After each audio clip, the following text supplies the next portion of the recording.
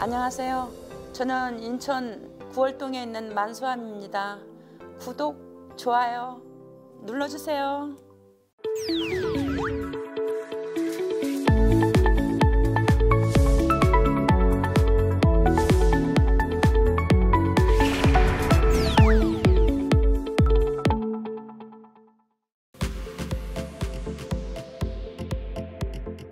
올해는 24살 삼재들은 어, 다치는 수잔.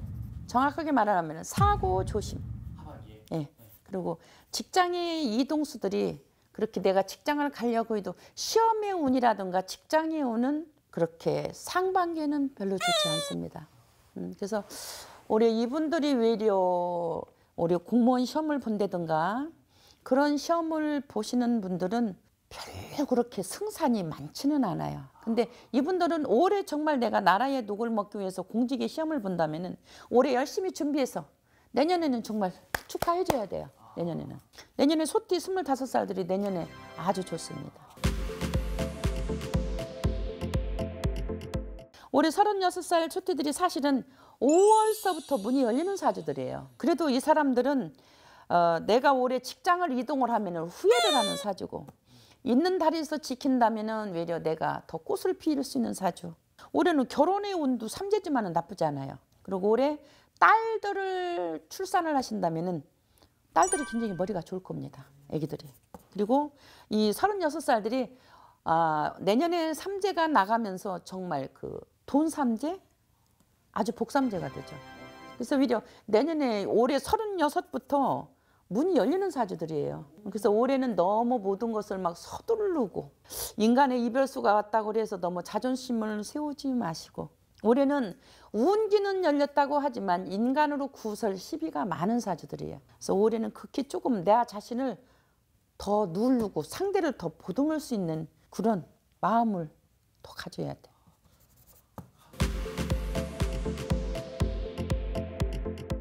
마흔여덟 소띠 분들이 참 화끈화끈합니다.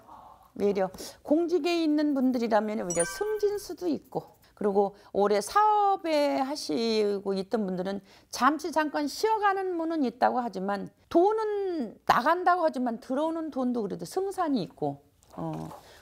또 올해 이분들이 48살 이분들이 주식에 조금 많은 그 꿈을 가지고 의외로 시국하고는 반대로 근데 큰 돈이 들어올 수 있는 운들도 많고 문서를 가지고 문서 가지고 이변들을 많이 할 수 있는 그런 사주들이 이 사람들이 괜찮습니다.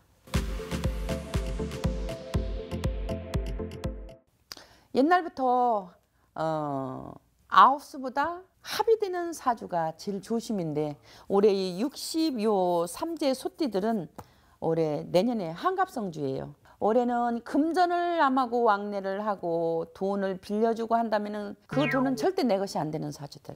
형제 일신 동지간하고도 줄라면 아주 줘야지 돈을 빌려주고 남하고도 금전에 거래를 하고 보증을 쓴다면 그것은 아무것도 없는 사주입니다.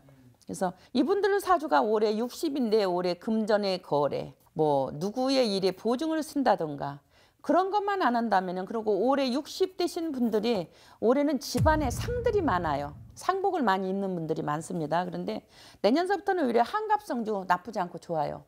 그래서 올해 60만 편안하게 돌아가 돌린다면은 내년에 2021년도 61부터는 정말 좋습니다. 이분들이.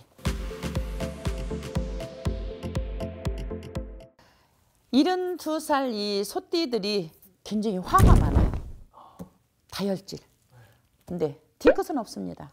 굉장히 인정도 많고 퍼주기 좋아하고 사람 좋아하고 먹기 좋아하고 놀기 좋아하고 이분들이 장은 안 좋고 남자들은 전립선들 아주 안 좋으신 상태들이고 여자들은 좀 하체, 허리, 허리서부터 자궁 다 안 좋은 분들이 많아요. 그래서 올해 72살 운으로는 나쁘지 않습니다. 자식들이 외려 71, 72, 73, 74 이분들이 자제분들이 출세하시는 분들, 승진, 승진하시는 분들이 의외로 많이 있을 겁니다. 물론 부부의 이별수들도 많이 있겠지만은 그래도 이 나이에 이 삼재의 이 72살의 사주라면은 자제분들이 승진수도 아주 많고 그리고 집안에 좋은 일들이 자제분들로 인해서 많아요. 근데 이 띠들이 하체는 다들 안 좋다는 거. 하반기에 좋은 기운을 이어서 음. 2021년에 들어가면서 저기 다 만개하는 약간 그런 운세 그렇죠. 올해 요 속띠들이 올해 삼재지만은 나쁜 삼재가 아니기 때문에 오히려 나가는 삼재에는 물론 100%다 모든 이 소띠들이 다 그렇다고는 할 수 없지만 보편적으로 올해서부터 그래도 문이 하반기서부터 열려가지고 내년서부터는 굉장히 시원한 일들이 많은 사주들이에요.